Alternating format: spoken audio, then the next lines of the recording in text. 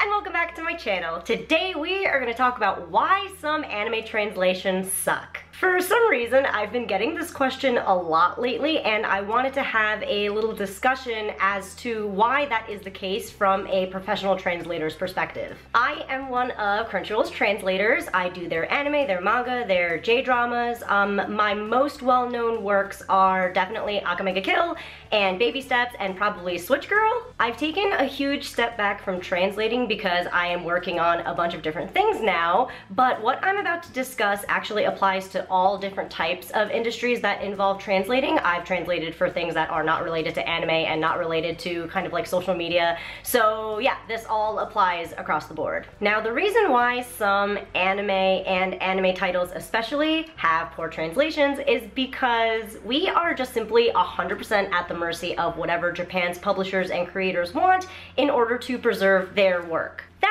means Japan's anime publishers have certain words, phrases, names that they want specifically in their English localizations, even if it isn't proper English. Sadly, the word they sometimes want misses the connotation that is otherwise necessary when translating something from Japanese into English. And we as translators give suggestions on how it might fit the English structure better or maybe the grammar better. And sometimes the publishers agree and it's all dandy and awesome. And then sometimes we get pushback, in which case we just have to go with whatever the Japanese publishers and creators want. And this is entirely fair because they're the ones that are making it, so they absolutely get final say in how their product gets localized in America. Now, Japanese overall is actually quite difficult to translate because there is a lot of room for interpretation. Japanese is very much based on contextual clues and what is situationally happening, so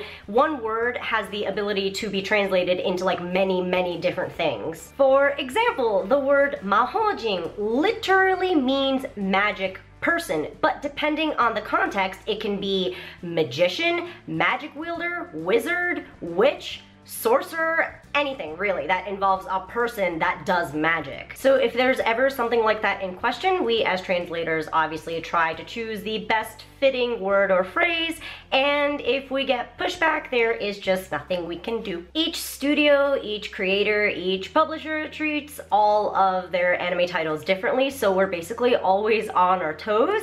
I like to think of us as the people who try to keep the balance between having Japan be happy and also accurately portraying what happens in the story to an English speaking audience. And yes, just like any job in the world, sometimes the translator sucks, much like a cashier can suck. It's just the way it is in life.